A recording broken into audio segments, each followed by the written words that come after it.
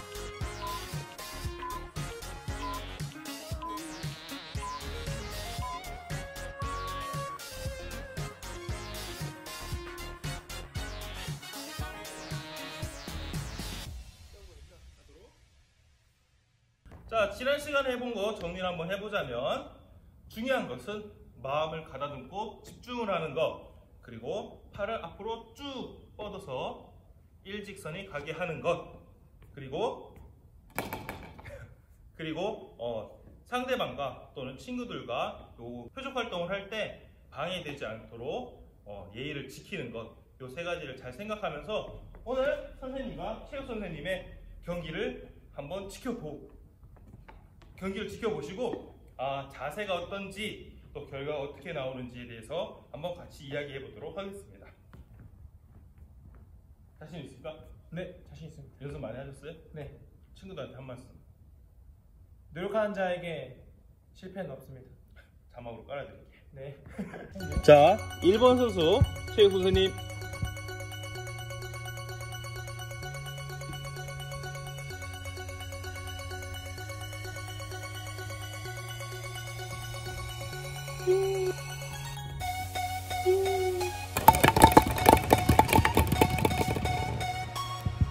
육점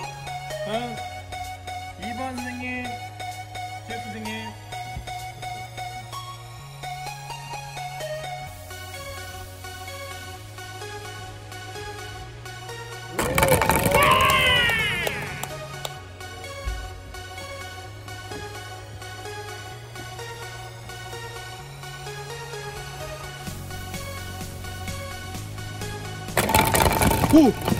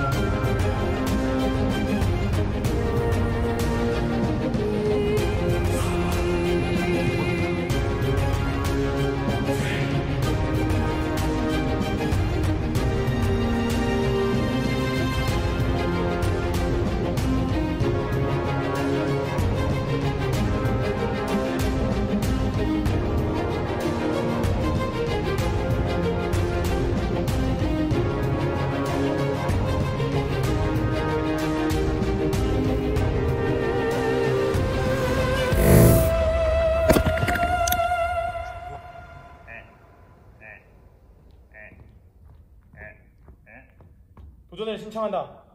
에템. 뭐 최우 선생님께서 도전을 신청하셨네요. 네. 연습 많이 하셨습니까? 네. 어떤 연습을 하셨죠? 비밀입니다. 알려줘야지. 연습을 하셨죠? 네. 균형을 잘 잡기 위해 왼쪽 다리의 근력 강화, 음. 그리고 또 고든 자세를 위한 팔 동작과 자세를 잡았습니다. 네. 그리고 마지막으로 하나 더 있습니다. 어, 그 뭐죠? 마인드 컨트롤을 했습니다. 집중력에서 제일 중요한 거는 아무래도 마음을 비우는 데. 네. 예, 집중하다. 우리 체육 선생님이 얼마나 많은 노력을 했는지 또 어떤 변화가 있었는지 한번 다시 한번 대회를 개최하도록 하겠습니다. 이번에는 볼링 실제 경기와 똑같이 할 거예요. 네, 알겠습니다. 만약에 한 번에 굴려서 볼링핀이 다 쓰러지면 뭐라고 하죠? 스트라이크. 그렇죠. 스트라이크라고 하고 만약에 한번 굴렸을 때 10개 아니 아니 한번 굴렸을 때 9개가 쓰러졌는데 그 다음에 두 번째 굴렸을 때 한 번 더 쓰러뜨리면 스페어. 스페어라고 합니다. 자, 도전 경기 한번 지켜보도록 하겠습니다. 레인을 바꿔서 제가 이번에는 여기서 한번 해보도록 하겠습니다. 제가 먼저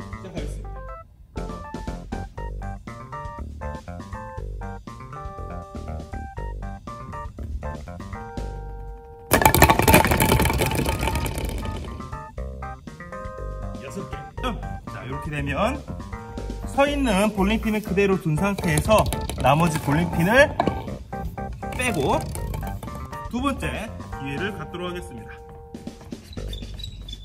어, 최우 선생님, 제가 만약 이거 네 개를 다 쓰러뜨리면 뭐라고 하죠? 스페어. 네, 스페어가 돼서 어, 점수는 10점이 되겠습니다. 으!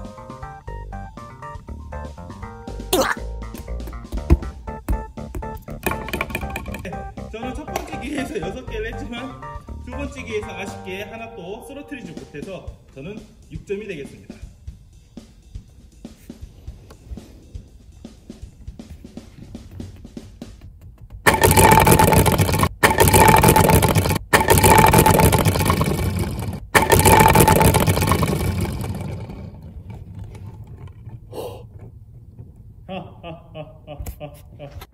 네, 이렇게 볼링을 잘 끝냈고요. 볼링에 대해서 잘할 수 있는 요령 세 가지를 말씀드리도록 하겠습니다.